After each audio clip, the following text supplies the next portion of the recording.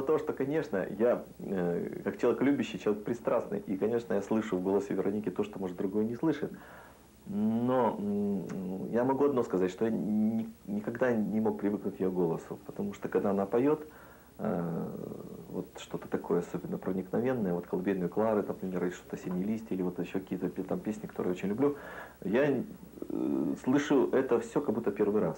Знаете, вот я слышу в голосе, э, э, вот, как бы, понимаете, призыв к какому-то таинственному миру, из которого, видимо, наши души произошли. У меня такое ощущение, что мы родились где-то в одном мире, наши души, и они вот как бы э, встретились здесь на земле, и когда вот я слышу, как она поет, она как, она как бы восстанавливает вот эту жизнь, которая была, так сказать, у нас до этого. Может, я слишком, так сказать, говорю, идеалистически с точки зрения нашего, так сказать, материалистического понимания, но, тем не менее, вот это такое ощущение. То есть мы уносимся в этот мир, нашу родину.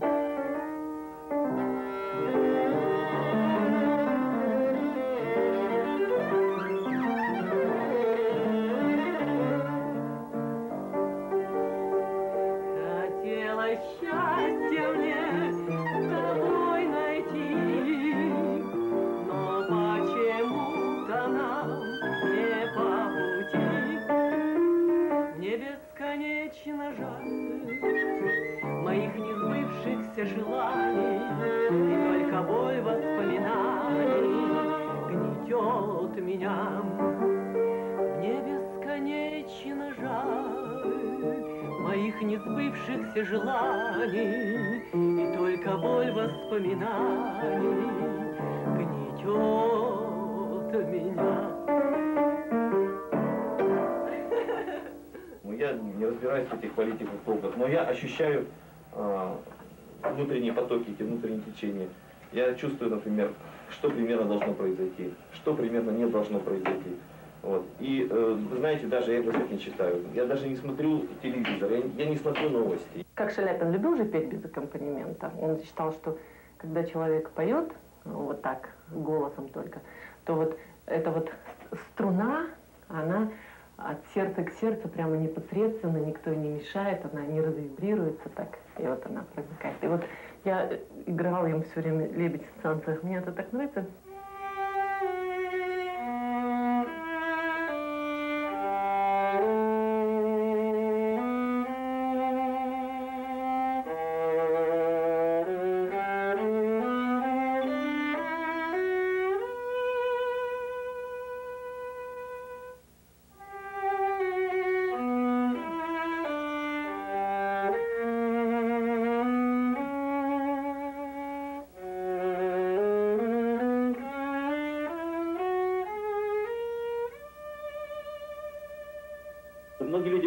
Вкус жизни. Вот, скажем, богатые люди, у которых все есть, они теряют вкус жизни. То есть э, все это приедается, им уже неинтересно. Вот. Э, то есть лица их дышат, дышат вроде э, таким удовольствием и счастьем, но это только на первый взгляд. Потому что если заглянуть поглубже, у них есть какое-то, в общем-то, скрытое, может быть, для них какое-то раздражение какое-то, какое-то недовольство. Потому что душа-то их, она требует роста, а она спит. Вот у многих такое есть. Конечно, бывает, конечно, исключение, бывает сочетание того и другого, э, но это бывает очень редко, мне кажется, пока что. Но вот духов, духовная эволюция человека, она, конечно, очень много зависит от музыки, от искусства в целом, от музыки э, в особенности, потому что она непосредственно, мне кажется, энергетически связана с, этими вот космическими вибрациями, с этими знаниями, которые идут оттуда.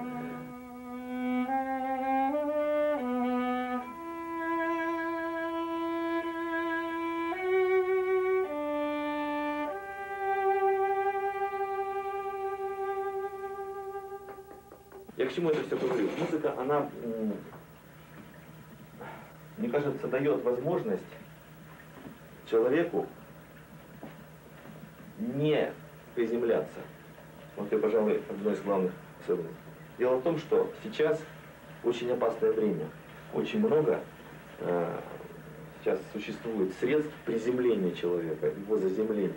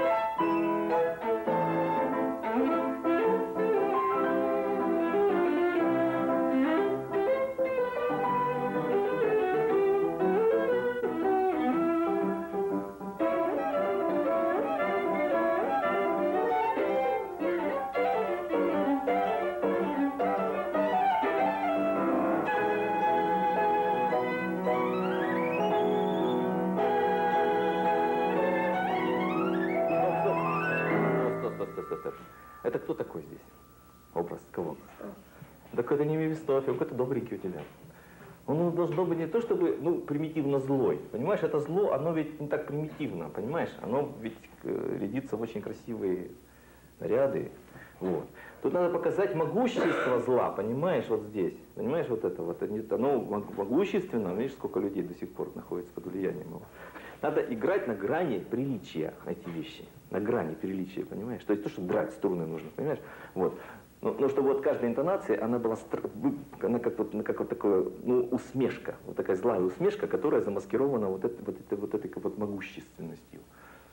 Как бы такой, которая бывает иногда подчас внешней могущественности. Потому что человек, который э, знает, так сказать, как противостоять злу, для него это не страшно.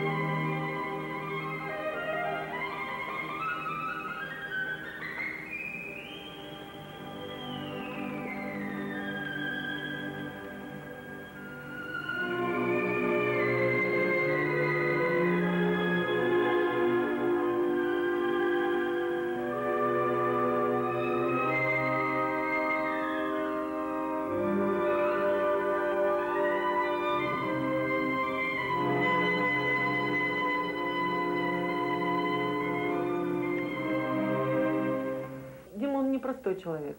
С ним иногда бывает очень трудно. Он э, в нем, я даже иногда говорю, что в нем что-то такое все время бурлит, вот такое, знаете, какая-то вот энергия, или мне даже просто иногда с ним тяжело находиться. Он, и он это понимает. Я говорю, ой, Дима, и опять ты что-то на себе принес, я всегда так говорю. Особенно, когда он работал в оркестре, то там огромный коллектив, и, по-видимому, вот он исполнял роль того, ну, я не знаю, как-то вот, проводника, что ли, вот это все концентрировалось в нем вот эти массы большие, 100 человек там или сколько в оркестре. Вот, и он это все в себя впитывал, и он приходил, знаете, ну, совершенно непригодный для жизни, в том плане, что он, он просто, то есть у него как будто он, его откачали.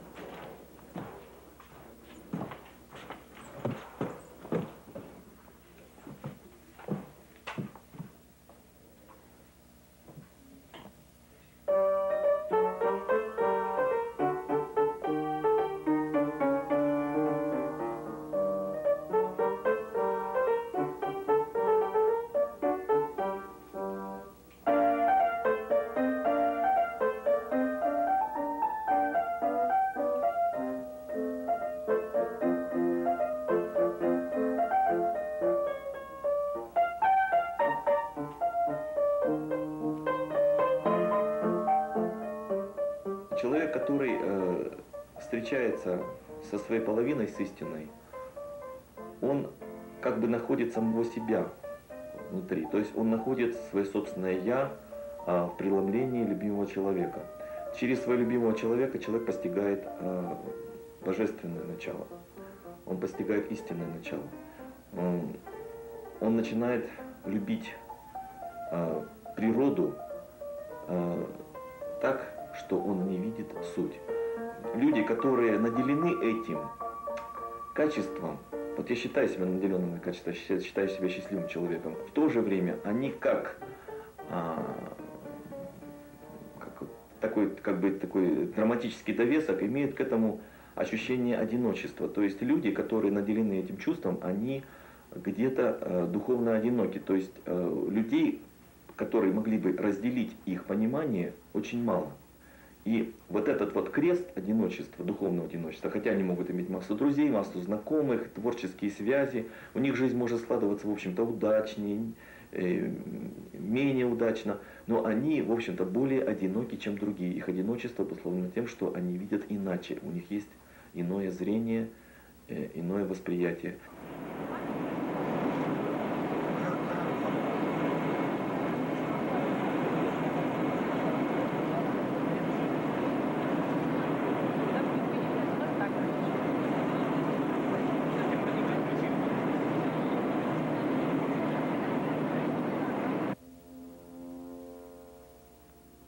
Я такой получилось какое-то такое немножко, такое какое-то, знаешь, исполнение какое-то такое суетливо кухонное, что ли, я не знаю, какое-то наше, знаешь, вот такое вот, озабоченное какое-то этим бытом, понимаешь, немножко.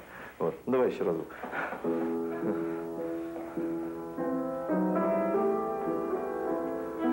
Вот сюда. Да. Это. Здесь можно уйти дальше. Дальше, и дальше, дальше. Да, да. И. Дальше види на фортиссимо. Держи себе, моль, держи, держи дальше. Разверни. Вот, понимаешь, почему ты съехала? Потому что другой настрой, понимаешь? Другой эмоциональный настрой. И ты не готова к этому. Твой аппарат не справляется с этим настроем. Значит, надо что-то изменить в ощущениях. Надо, видимо, больше опереться. Значит, вот это косточками больше опереться, кисть, ну, массой кисти через косточки на пальцы здесь. И более мощно сыграть. Понимаешь? Более сильными пальцами. Понимаешь? Очень слабыми пальцами. Они не выдерживают такой нагрузки эмоциональной. Ну что, давай еще? Еще разок.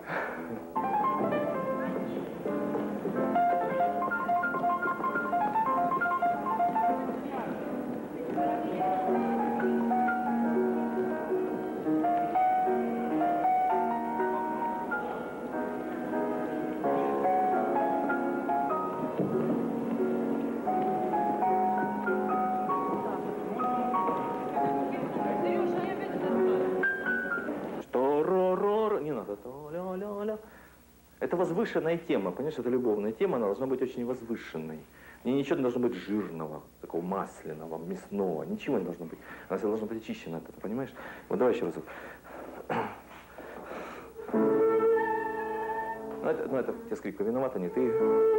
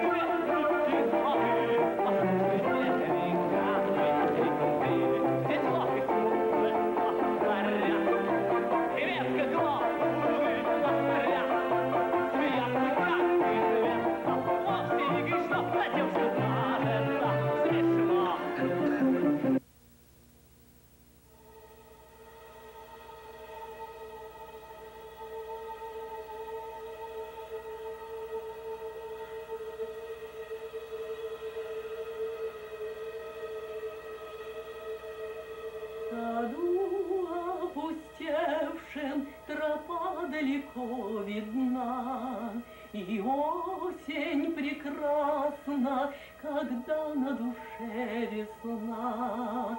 Сильнее разлук, тепло наших рук, Мой нежный, единственный друг. Пусть годы проходят, живет на земле любовь, И там, где расстались, мы встретимся нынче вновь. Пусть годы летят, не меркнет твой взгляд, И листья над нами шумят.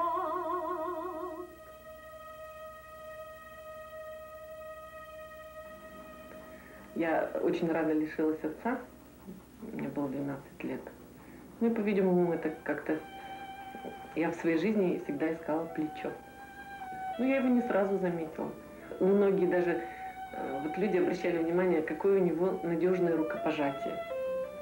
Я тоже по рукопожатию людей как-то отличаю, но женщины редко здороваются за руку. А вот он тоже говорит, что у мужчины сразу чувствуется рука. Ну и потом я просто Диму очень люблю. Я себе не представляю жизни с каким-то другим мужчиной, потому что он все время разный, непредсказуемый и очень надежный.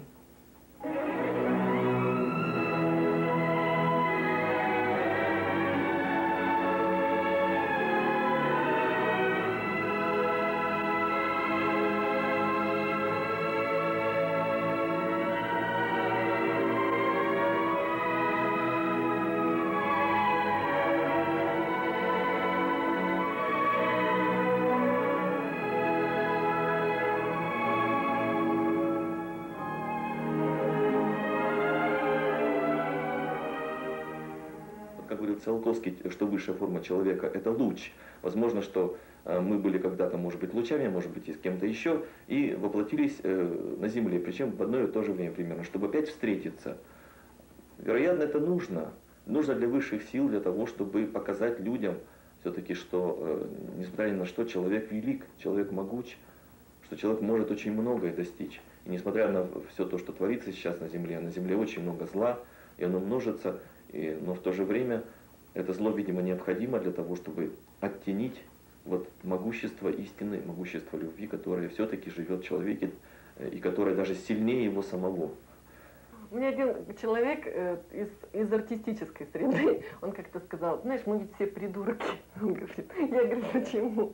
Он говорит, мы готовы вертеться на пупе за самое-самое маленькое жалование. Я говорю, я говорю, ну, м, как-то не согласилась с ним, говорю, это, наверное, не так. Он говорит, ну, как не так? Вот ты пришла сегодня на концерт, что ты получишь за это? Я говорю, ну, благодарную публику. Вот, вот тебе и все, вот тебе весь разговор. Вот что такое интелли- творческая интеллигенция. То есть я считаю, что это один из самых необеспеченных классов. И он как бы болтается вот в воздухе над всем. И тем не менее, он, по-видимому, держит какой-то, ну так высоко скажу, какой-то огонь нации или огонь страны. Какой-то э, вот тот факел, который, так сказать, нельзя, чтобы он загас. Потому что если он погаснет, то тогда все, и внизу наступит полный мрак.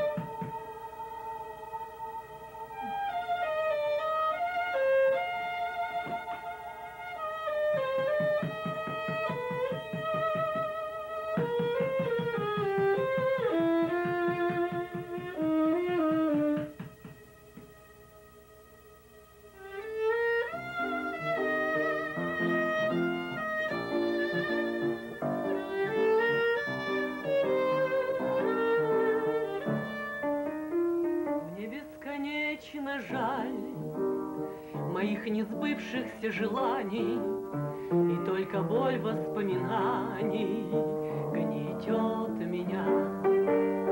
Я понапрасну ждал тебя в тот вечер, дорогая, С тех пор знал я, что чужая ты для меня. Хотелось счастья мне с тобой найти, но почему-то